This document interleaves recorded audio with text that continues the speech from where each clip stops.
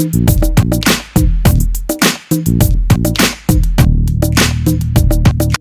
today I am with one of my best friends ever, Mr. Rick Miller. He runs Farrell Family Bread. You all have seen him if you've watched any of my farmer's market videos. He's sporting the Tulsa Farmer's Market hat. And we thought we would film a little bit behind the scenes of this impromptu dinner party you're throwing together. And I want to know what you're making right now. Right now, we're going to do the most important thing first, which is the sangria. and I found, in one of my travels, I found this wonderful white sangria. It's got Granny Smith apples, oranges, and green grapes in it.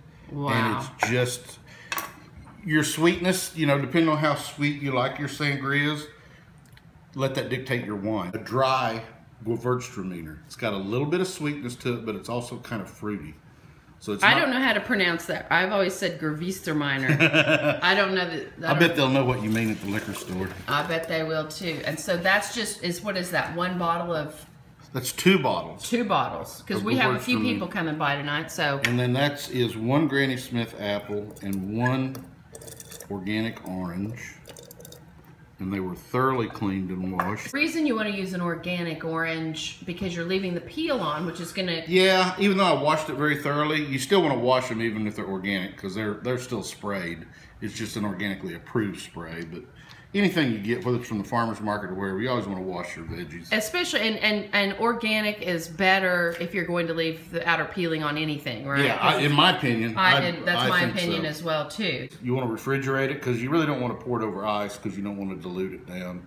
Uh, what some people are actually doing now are freezing their whole grapes and they're using them for little ice cubes. You got a little cold treat at the end of the glass. I love that. So it's that simple. Just really, it's just the only time that goes into that is the prep time of chopping up the fruit. yeah, and that took what, 10 minutes? And go with one dry Gewürztraminer and then a regular sweet Gewürztraminer. And this is going to be at its best flavor in what, an hour from now? Yeah, give it 30 minutes, stick it back in the refrigerator, keep it cold, and uh, give it 30 minutes or so. And uh, Well, we'll we're going to come Enjoy. back and do a taste test. How about that? I think we should. Okay, let's do it now. We're gonna do some zucchini patties. Uh, anyone that's grown a garden and grown zucchini and or yellow squash, you'll know that one plant will feed an entire neighborhood. Hmm. They're very prolific if you keep the squash beetles away. And this is a little spin besides just grilling or just sauteing or just deep frying. Uh, this you add a lot of herbs and other vegetables to it. And a little breadcrumb and egg and until it makes a little croquette or a little patty. Mm, you're really making use of seasonal produce right Yes, now. yes. And are these um, from the Tulsa Farmers Market? These are, I got these Saturday. You just cut the ends off. Now I've got one of these handy dandy mandolins which will rip your hands to shreds if you haven't used them. They make a, a chainmail glove that I would recommend using if you get one of these. They make, this was a, a restaurant quality one so it's, it's a little heavier and a little more expensive. They make one plastic with different width and depth of blades on them. That's the one that I have, and it's And they work fine. It's fine. They're even now making some. You could actually use the big holes on a uh, cheese grater. That Yes, would work fine. okay. Uh, one of those triangle boxes, kind that have the big holes, you know, different size holes on the sides of them. Use the big holes and, and run it through there. let's see what this. Oh, so you're going long ways, long ways. Yeah. Okay. And you kind of want to. I would highly recommend stopping when you get to the seed bed. And then just it. twisting it like one quarter turn, right? Yeah. Okay, there we go. So they're long strips. Yeah. So now we're in the seed You know what bed. else you could use? I have one is a julienne peeler. I've got one also. Yeah. That could They're work. great. But that makes it this makes it go super quick. Yeah. And you're just trying not to shave off the tip ends of, or the knuckles of, of your my fingers. Yeah. Here's what you get are these little, and you can actually saute this right there. You could use it for a, probably use it for a pasta substitute as well if you want. That's what I like to do. I, I use my spiral slicer, but for this, I don't think the spiralized would be as The good. The thing I like about these or the other tools we talked about, the, the Julienne uh, peeler, is you can stay out of that seed bed because you get a lot of extra water in that seed bed that you don't want. is to wring as much water, these aren't so bad, out of these. There's a few little drops coming mm-hmm. out. You can also put it in a thin tea towel and twist the top of it. Just keep twisting it tighter and tighter and tighter, and you can, almost like a cheesecloth, and squeeze the water out of it.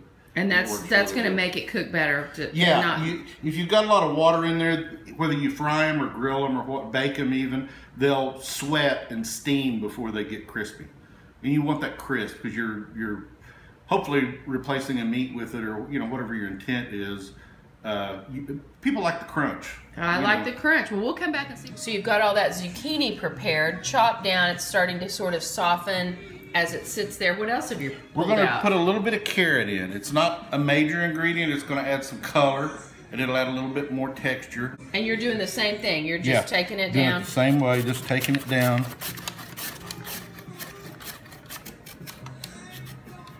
That.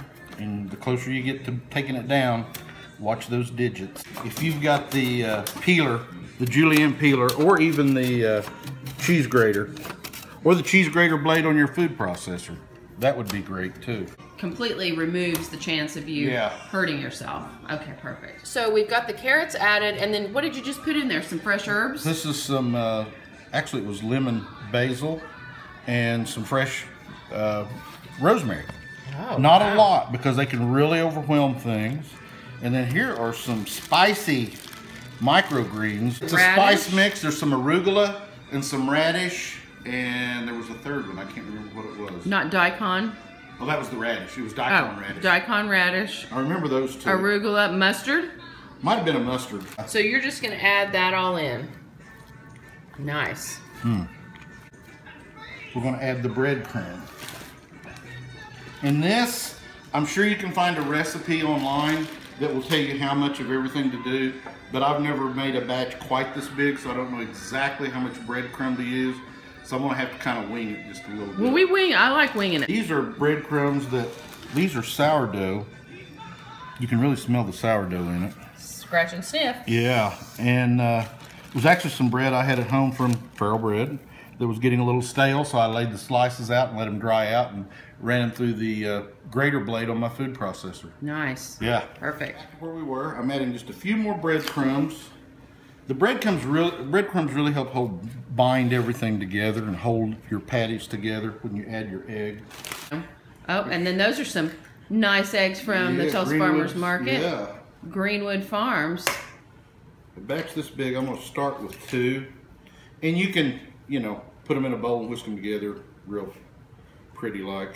If you want, or you can just get like. you can just get your hands in it You like you're doing. it, yeah. You just kind of go for a texture. And the texture you want is something that when you make a patty, it kind of stays together. If it doesn't, if it's too wet and sloppy, it means you've gotten too much egg or too much water. And so you'll probably want to put some more breadcrumbs. And if it's too dry and it, it won't stay together because it's dry, see, this is really a, a good consistency, a really good texture. So- I think next thing I will make the uh, tzatziki first. Oh, the, The sauce. yogurt dip. Yeah. Okay, well. So tell me what you're you've got some garlic. Got some garlic. I'm going to get it peeled. You don't want to crush this. You want to keep it as whole as you can. You just kind of cut off the the uh, root bud end. It looks like it's got the little root, you know, little hard end of it. And then peel the the dried skin. And this garlic, as with most everything we're cooking with today, came from Cherry Street Farmers Market. Yes. Okay, um, then we're going to start with some plain Greek yogurt. Let's see the label. Turn it around here so we can see what we're working with. Greek gods. I guess it wouldn't really matter, but Greek You is want what a you're looking stiff, for. thick, you know, you, oh, with Oh, a lot of texture to it because you're going to add grated cucumbers and grated garlic in it, and they will have moisture in them. Now, a lot of people will shred and grate their garlic or their uh, cucumber and wring the water out of it like we did the zucchini in the beginning, but I don't really do that. You can skip the step by getting a heartier yogurt like the Greek yogurt. Right. That's And I really, the big ones are, are kind of easy, the big cucumbers, but I like these little ones. You don't have to worry about getting every smidgen of peel off of them. And they're just- not as water filled either. They're a little Yeah. dr- little drier. Those are actually pickling cucumbers, aren't they? Yeah. And the same thing I try to stop when I get to the seed bed. When you get down to where the seeds are, that's where most of the moisture is going to be. Okay. So you're just grating it right up. Yeah, there it, goes is. right just in. right into that. And uh, I use this method for cucumbers even when I do tabbouleh. So we don't have chunks of cucumber. Really? But you've got the total essence of it, and you've got all the moisture, and it really helps neutralize the lemon juice in most tabbouleh, where it's not so acidic. You can still taste the, the lemon, but you know how sometimes it feels like it's etching your teeth from all the acid that's Yes. in it. Yes. And uh, this, you know, So this, this is the technique you use for tabbouleh, Yeah. which I believe I think I heard is going to appear at this dinner party this evening. Yeah, I made some uh, kale and quinoa tabbouleh Oh God. with Help some of those wonderful fresh tomatoes from the farmer. I tell you, anything you can put tomatoes in, get it right now and make it because tomatoes are triple bumper harvest right now, and the, I have not had a bad one this I have year. not had a bad one either. Really, just that that hot heat that we've had really brings up the flavor of those tomatoes. There's one vendor that has these huge giant ones, and I don't know if I've still got one over there or not. Let's go Uh, look while you're grating that. I'm gonna like go. eating a watermelon. I mean, they're so sweet and so juicy. I think it's uh, who is it? Heart's Desire. It's Heart's Desire. They're my favorite tomatoes. They are those like beefsteak tomatoes. Yeah, That one's not but they're quite heirlooms because they're kind of gnarly. They're kind of knobby. Oh, they're gnar- they're gnarly, all right. But boy, the flavor can't be beat. Look for those at your local farmers market if you don't live in Tulsa. Okay, there's two pickling cucumbers I have in there. And that's, uh, so you can see just a little bit, and just kind of dissolves in there. You've got the full essence and a little bit of the fiber from the cucumber, but you don't have chunks of cucumber. And you don't need a blender to And make you don't it happen. need a blender. And I do the same thing with the garlic. Really? Yeah, I run the garlic. So you're getting the, the almost like the garlic juice with just a little bit of garlic Yeah. uh, pulp. That's kind of how that turns Yeah. out when you grate it like that. and it gets the flavor all in. You know, you can really kind of get away with using a little bit less garlic uh, because it, it really gets in there quick. You don't have to let it set overnight. So am I hearing that this tzatziki is just these three ingredients, or do you No. add anything else? There's one more little little thing goes in Oh, there. okay. Two really. Let's see. There's the garlic. There's maybe a, if you'd measured it, it was maybe a teaspoon of shredded garlic, Okay. and then dried mint. Dried mint. You wouldn't want to do fresh in there. I don't. Some people do. I really like the dried. It's going to have a little bit more of. It's condensed. full- If you anytime you know the rule of thumb has always been if you use a fresh herb as opposed to a dry herb, uh, if the recipe calls for a, a teaspoon of dry, you'd want to use three of fresh because Okay. it it goes a lot further. And then sea salt. This is some Gray Brittany three sea salt that we keep and use and sell at the bakery. Say it again, Gray Brittany. Gray Gray Brittany, but any good sea salt works. You're not getting all the iodine and the chemicals, and I won't use traditional table salt anymore. I like the pink Himalayan salt. I do too. It's they're all a little real subtle difference, but they're 98% sodium chloride, all of them. So they're they're all salt, but some of them just have they bring a little something different to the. Well, we like with the minerals intact. We don't want it bleached and stripped and all that stuff. So, okay, so that's the sauce. That's it. Taste it, yeah. Oh man, Good. yeah. Okay, let me get let me get a finger in there. Oh my god. You can taste the garlic. The cucumber kind of mellows it out. And then of course the mint will, being dried mint, it'll take it a little longer for the flavor to really take hold in that. That's simple, but you are an artiste. well, Mr. Miller, so we're out here in the old grill. What do you got? You've got your zucchini. We've got our Uh, little zucchini patties. We're going to put them on a little plate here because I don't want to waste them falling through. so the, you've got this, and I don't want to get too close to it because it's hotter it's, than it's donut hotter, grease. It's hotter than donut grease. That's funny. so it is. It looks to me, it's almost like a cookie sheet with holes in it. So yeah, you can a- buy. I got this. I think it's actually at Home Depot. just a s kind of a standard Yeah. grill pan, right? you don't have to worry about stuff falling or okra. You don't have to worry about it falling through the grill. Our little bird told me we might have some okra might have happening some up in here okra out tonight. For the night, so- Some local okra. Locra. Loc- Locra. We'll be locravores. We have had someone come and Oklahoma? join us. It's Chris from Hello. Tulsa Farmers Market. And Oklahoma. Oklahoma's right. Isn't that great? Okay, so that's just going to go in there. What's the cook time you think? You're just going to keep checking it? I have to keep checking it. This, this, I don't know how accurate this thermometer is. It's showing like 400 degrees, so So what's all in that patty?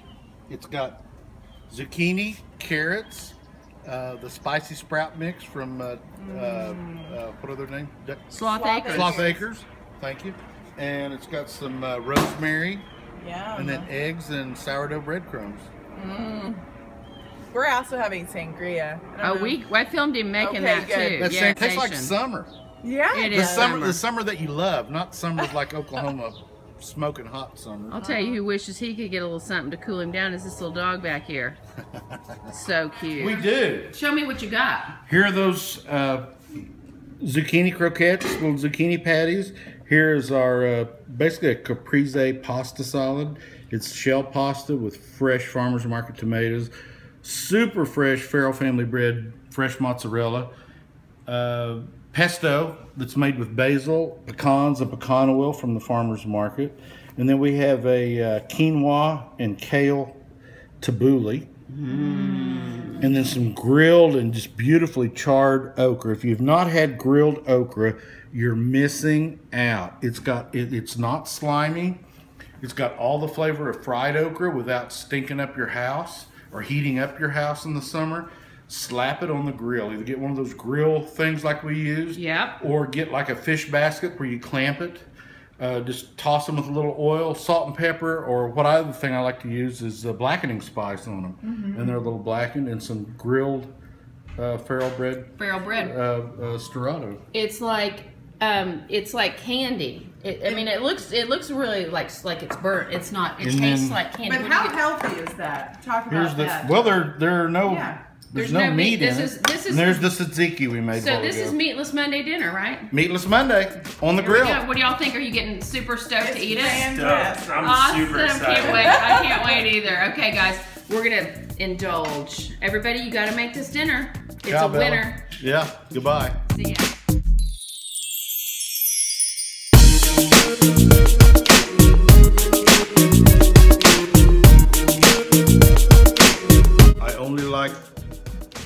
Mama Sophia's tzatziki, but yours is almost as good as Mama. It's his mother, Mama Sophia.